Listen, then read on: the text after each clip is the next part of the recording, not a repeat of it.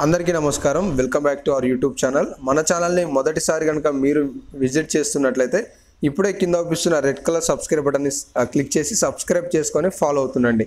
ఇవాళ ఈ వీడియోలో రైతు బంధుకు సంబంధించిన పైసల గురించి డబ్బుల గురించి ఎప్పుడు రానున్నాయనే అంశాల గురించి డిస్కస్ చేసుకుందాం. సో మీకు చాలా స్పష్టంగా ఎక్స్ప్లెయిన్ చేస్తాను వినండి.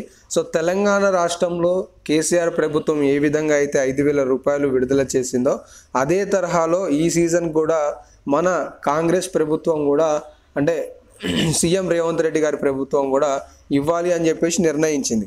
అయితే ఈ నిర్ణయంలో కొన్ని కొత్త నిబంధనలు తీసుకురావడం జరిగింది. ఈ రూల్స్కి ఈ రూల్స్ వల్లనే ఇప్పటి వరకు చాలామందికి రైతు బంధు డబ్బులు పడగకుండా ఇప్పుడు పెండింగ్లో అయితే ఉన్నాయన్నమాట.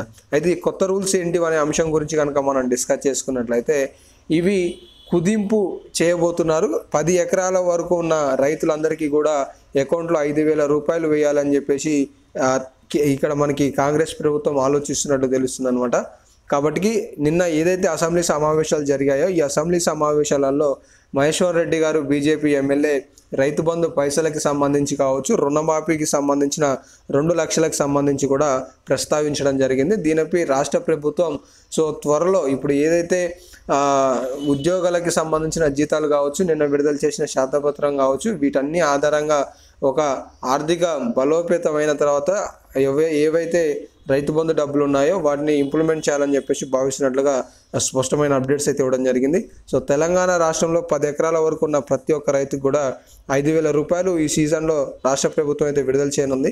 ఇప్పటి వరకు అయితే కొంతమంది రైతులకైతే ఈ రైతు బంధు డబ్బులు వచ్చాయి. సో మీకు కూడా త్వరలో వస్తాయి. ఒకసారి మెసేజ్ చేసి చెక్ చేసుకోండి. ఈరోజు సాయంత్రం కల్లా ఎకరం లోపు ఉన్న ఒక ఎకరం లోపు ఉన్న ప్రతి ఒక్కరు కూడా రైతు బంధు వచ్చే అవకాశం ఉన్నట్టుగా తెలుస్తుంది. సో ఇలాంటి మరెన్నో లేటెస్ట్ అప్డేట్లు మిస్ కావద్దని కూడా సబ్స్క్రైబ్ చేసుకోండి. కింద ఆపిస్తున్న రెడ్ కలర్ సబ్స్క్రైబ్ బటన్ చూసి మీరు కూడా మీ తోటి రైతు సోదరులకు కూడా షేర్ చేసే ప్రయత్నం చేయండి. Thank you. ధన్యవాదాలు.